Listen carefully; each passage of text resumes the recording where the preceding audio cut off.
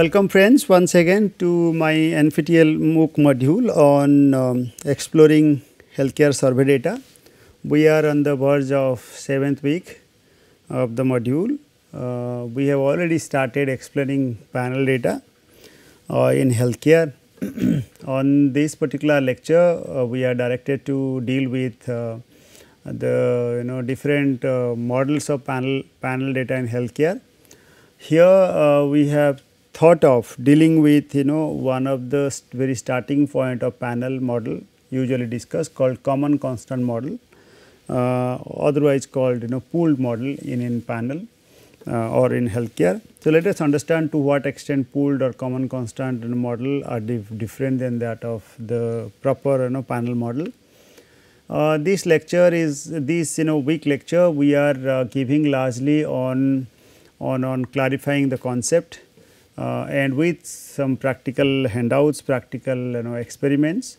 Uh, we will also nurture you with the exact interpretations of, of these all models and these are highly useful in research especially those are advanced users, advanced users in the sense you know those who are writing uh, their papers and submitting to a good journal usually A category journals they I will always suggest to uh, you know follow this very carefully and, and, and accomplish your paper accordingly. So, here are the background information about uh, this uh, model. In social sciences especially in economics data sets uh, combining time series and cross sections are usually very you know uh, uh, prevalent. These data sets are rich source of information regarding the you know activities of an economy uh, to analyze uh, these uh, database, uh, we uh, these allows researchers to learn about how economic dimensions or structure accounts for you know heterogeneity across entities or dynamics mm, dynamic effects that are not captured in cross sections.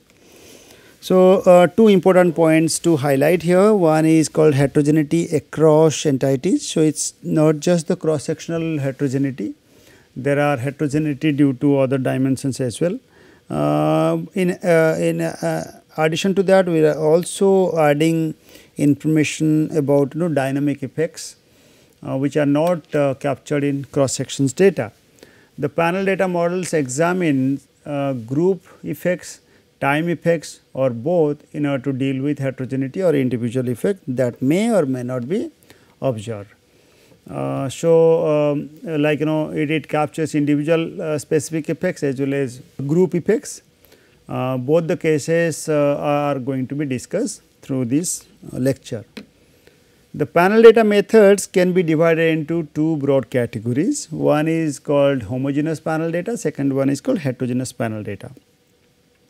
Homogeneous the word clarifies this assumes that the model parameters are actually homogeneous in the sense you know they are they are they are common across individuals like you know we we have in ordinary least square method or ordinary regression uh, methods or in, in, in, uh, in general cross sectional data these are also called pooled models. So, homogeneous panel data are, are, are discussed in the context of pooled models as well.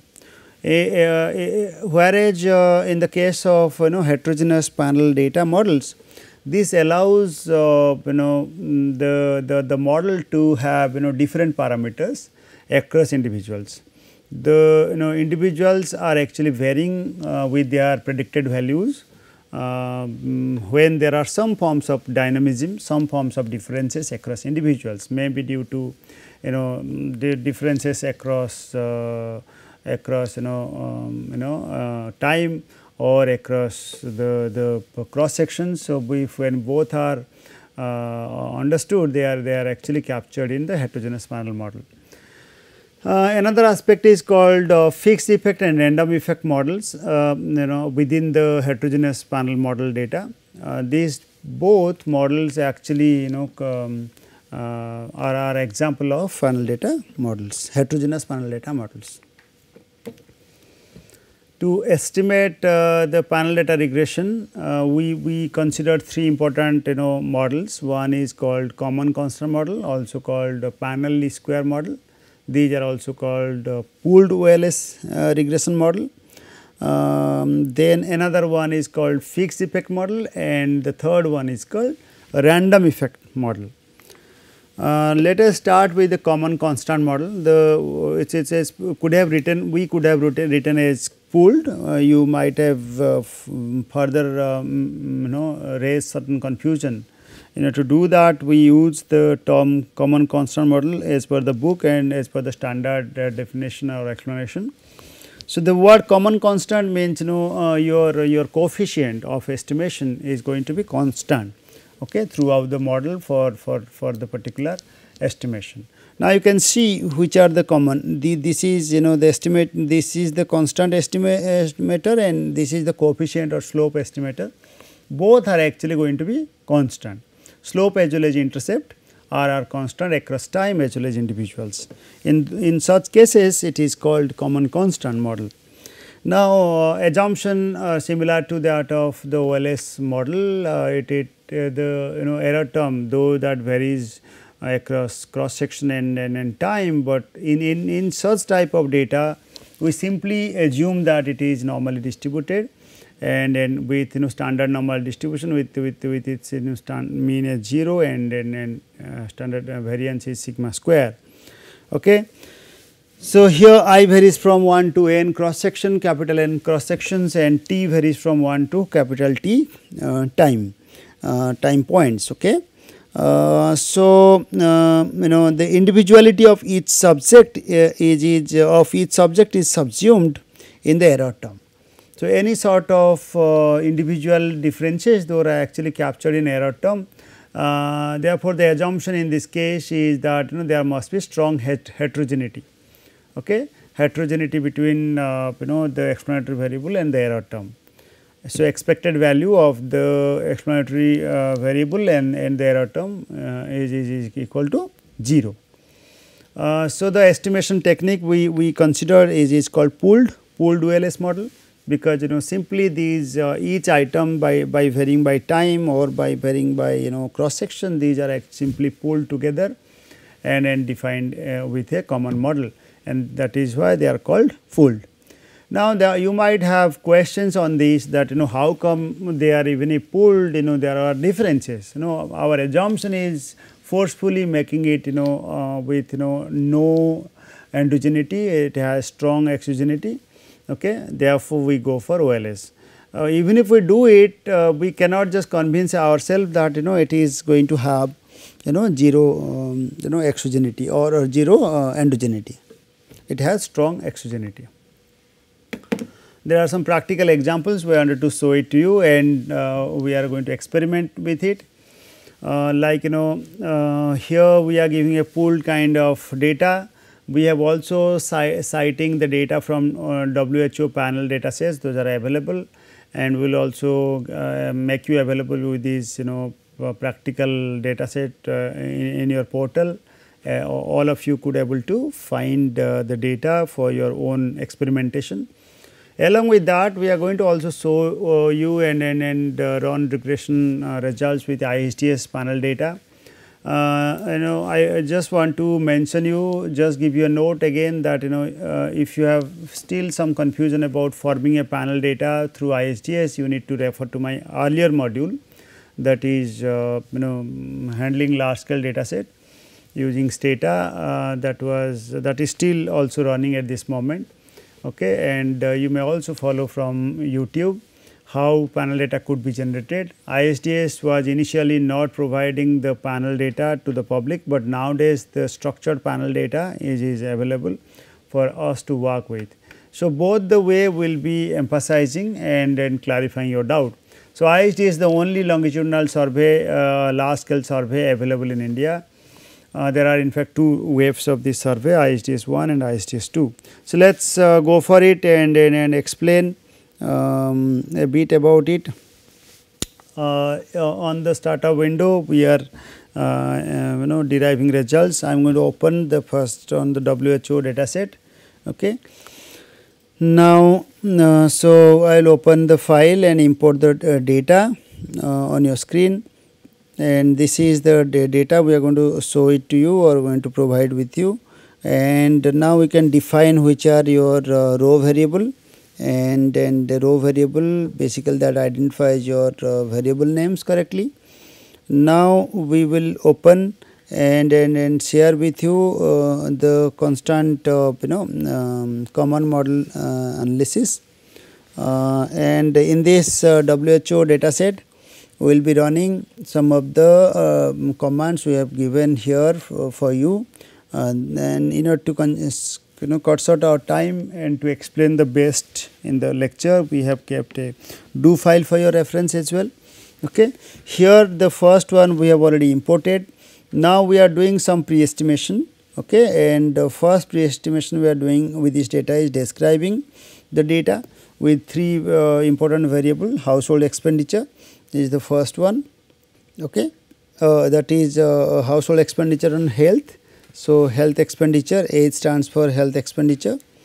So that is uh, here and uh, describe is going to give you the nature of the data on your screen okay? Then next will be um, clarifying you about uh, you know uh, the xt set for, you know we need to set whether which kind of panel it is what is the panel IDs. So ID and the year uh, these are the two variables uh, defined as the you know panel units for us panel variables for us year is the T T variable ID is the cross sectional variable so, now we have defined xt set is, is mandatory for you to run at the first to uh, recognize the you know data to go with the panel data estimation. Now, this once you set it uh, now this suggests that yes this is a strongly balanced data. Okay.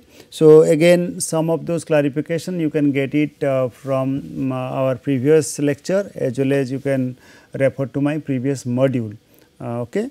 Uh, now the data is from 93 1993 to 1997 okay and and uh, the change by time is of one unit so one one unit time effect change is, is given now we are going to run the third uh, important pre-estimation technique uh, that is you know the summary of the data of these three important variables uh, that is xt sum we are going to operate xt sum here now the result is on your screen uh, so xt sum uh, with these three variables that summary is, is giving uh, you know information. So, we are getting uh, in panel one of the important aspect is that we are going to get the overall model within effect and you know, between effects as well. Okay. So, since this is this is a pool data it is not capturing the between and within it is simply considering the overall estimation. Okay whereas in case of fixed effect and random effect you can easily differentiate uh, these, these categories. Now but it has given its standard deviation in each categories. By mean it has considered the overall mean but by standard deviation there would be certainly some differences. The minimum value maximum value n small n and the time the number of time periods are 5 in each case since it is a strongly balanced panel so these are all the description for you now we are going to run with the proper ccm uh, model on your screen. So, this uh, common constant model it is a kind of you know pool data as I told you. So, the simple regression command is going to give you the result. Okay. So, on your screen uh, we have derived the REG uh, the health expenditure data is, is, is, uh, is the dependent variable. Now, you can easily compare this result with the ordinary least square data. This is in fact the ordinary least square model uh, and then and um, uh, the coefficient uh, we can interpret easily the p values can be interpreted the way we usually do it so there is no no major difference as compared to the OLS model now let us move to our uh, ppt once again um, I will, I will also show it uh, with the explanation in, in writing uh, so, we are explaining the WHO panel data uh, just to observe the effect of education attainment and disability adjusted life expectancy on per capita health expenditure. So, the health expenditure variable was taken as the dependent variable. So, dependent variable is per capita health expenditure whereas the independent variable are, are, uh, uh, are like you know educational attainment and, and DALE disability adjusted life expectancy. The purpose of this lecture is to show how do how to do panel analysis with health data. It does not cover the whole research process and model. Okay. So, uh, we will steadily capture uh, other uh, you know directions of panel data, but at this moment we are just trying to give you the background information about you know a common constant model which is essentially required for discussion in order to start with fixed effect and random effect model. Now, just to clarify I have already um, discussed about describe command and sum, summarize the you know effects, summarize the you know statistics so, basically in some summary it, it, it also separates within uh, or over time and between you know uh, variations. So, the standard deviation value within and, and, and, and within basically over time because you know within the cross sections how the same cross section unit is, is varying over time that is why it is called within whereas between basically between the individuals. So, how individuals are actually uh, um, and their responses are varying or varying across individuals not nothing to do with the time factor. So, between is not taking um, comparison of the time whereas within is actually emphasizing the time aspects. Uh, so, uh, these are all three types of statistics overall uh, then between then within between as I told you calculated on the basis of some statistics of number of cross section regardless of the time period. So, uh, and and and uh, within age is basically considering the time time factor and casing the time time changes. So, the xtsum uh, uh, the command we have clarified already derived on your screen and you can check that you know between and within effect uh, the variations are observed. So, some basic ideas you can take like you know uh, across the individual units uh, since it is uh, you know there are so many observations 165 observations the between variations are, are more than that of the within variations. So, over the time changes are not much so far as uh, uh, you know per capita expenditure is concerned. Whereas uh, you know education and, and disabilities aspect is concerned you can also check the differences accordingly.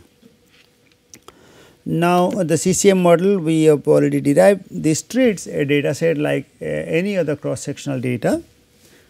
This ignores the data that has a time and individual dimensions that is why the assumptions are similar to that of the ordinary least square model.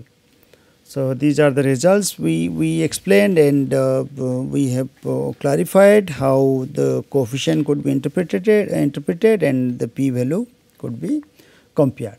So, uh, further to this uh, you may also refer to my previous lecture as well, previous uh, lecture on um, handling large scale data using stata. So, uh, this is uh, uh the similar to that of the explanation made in in in, in uh, OLS regression. That is why we carry with the command REG. All right, REG dependent variable and uh, control variables if any are there and accordingly you can run the regression and interpret it. There is no more things to add Rest of the things we will explore and find out. If you have any difficulties, we will be happy to address it. These are all for the uh, in this lecture. On the next lecture, we will be clarifying on fixed effect model that is going to be very interesting and I will explain you the you know um, um, you know equation very carefully and I will also discuss about I term, T term and it will be more fascinating for you to um, attend. Thank you. Uh, let me stop here.